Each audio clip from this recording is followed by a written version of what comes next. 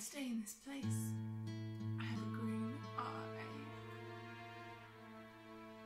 Okay, that's just because of the light on my face, but yeah. I am here to continue my Buffy stories because I still have a lot of cast members that I met that I want to tell stories for, so yeah. So I went to Wales Comic Con recently and I met four of the Buffy cast that I had not previously met, which is like amazing. I mean, it's amazing to meet them anyway, but when you can go to one Comic Con and there's a bunch of them, you're just like, this is great because I've only had to pay for one coach or blah blah blah blah. So that's always fun. so I saw them all in the Buffy talk before I met them, so I kind of had an idea of what they were like. I'd seen them in interviews online, but to actually see them in person and see their mannerisms is always quite like, ah, okay, I have an idea. And it was quite scary going up to Juliet but not because she wasn't nice, but because she was quite, quite like, not timid, but quite like, quite small and quite calm and stuff. And so it was a bit like, ooh, I don't know. I have like kind of a loud personality, so when I went up to her apartment, she's like, I must be quiet. But she was really sweet, and um, she spoke to me a little bit about her vampire documentary that's going to come out and she asked if I wanted to sign up to her mailing list and she passed me a pen and I kind of laughed and I had my arm in a cast and I was like, I, can't right now. And she was, like, oh God, sorry. And she asked me like for my name again and she wrote it down and it actually sparked up a story about broken arms.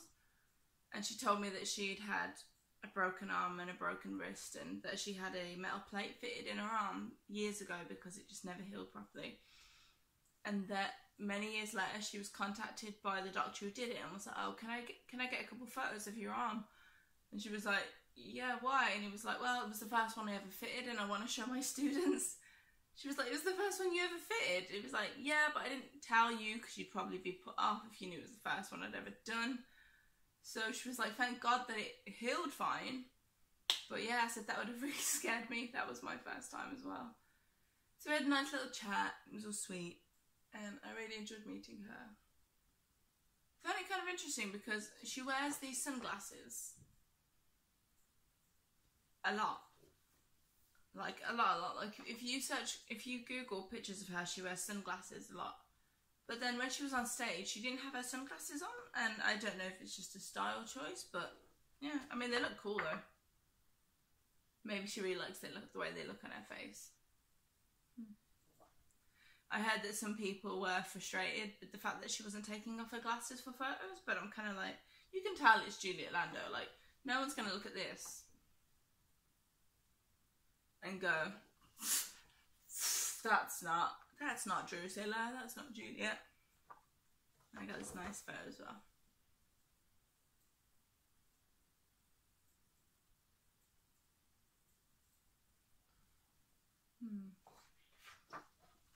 The next person that I met was Clare Kramer. Again, I'd seen her in the talk, so I kind of had an idea for who, the way she was.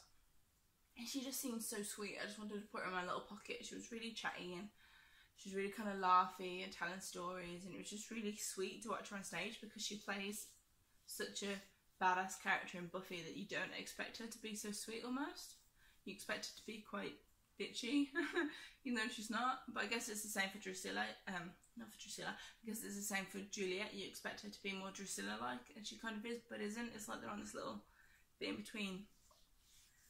And it was especially nice for me to meet Clare because she stars in one of my favourite films, Bring It On, as a character called Courtney, and it's just amazing. Like I love that film so much. I've watched it so many times over the year. It is actually funny because the first time I watched Buffy and Eliza Dushku, Eliza Dushku slash Faith came into it, I was like, oh my god, it's Missy. And Adam was like, who? I was like, it's Missy from Bring It On. And I got so excited. And then it kind of clicked on me when I saw Gloria. I was like, oh my god, it's Courtney from Bring It On. And I was like, oh my god, the, the Buffy cast exists in Bring It On and in Buffy. That's amazing. So hearing Clare tell stories about Bring It On, it was so cool. Like she said that when they filmed Bring It On, it was at a time when American Pie was really, really big and so everyone was just kind of like, oh, Bring It On's not going to do very well. No one's going to care about that film. Everyone loves American Pie, you know. Let's bring it on. But it was actually really cool because then it did so so well, and it was kind of like uh, uh, uh, American Pie, the only film. And then when I went up to her table, I got her to sign this autograph. Which is from a really iconic scene in Buffy in my mind where Glory's in Buffy's house and she's basically saying I could snap me like a twig. And she's sitting on a chair in the living room and Buffy kind of comes in and she's really like like moving around and trying to keep calm and after that Buffy's like, you know what?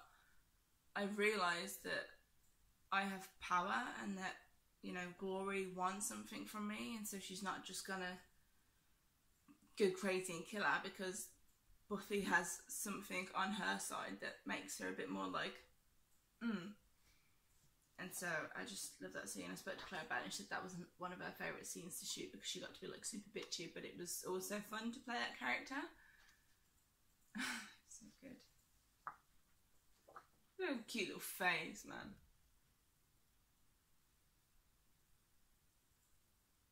I'm just like, ah. Can't wait till my future Comic Con photos don't have me in a cast or a splint. That'll be great. I'm like, I've got arms again. That was my experience meeting Clare and Juliet. I also met Anthony Head and Marc Blucas that day, but I'm going to split that into a second video. Otherwise, I'm going to be rambling on about Buffy for like 25 minutes. Cool.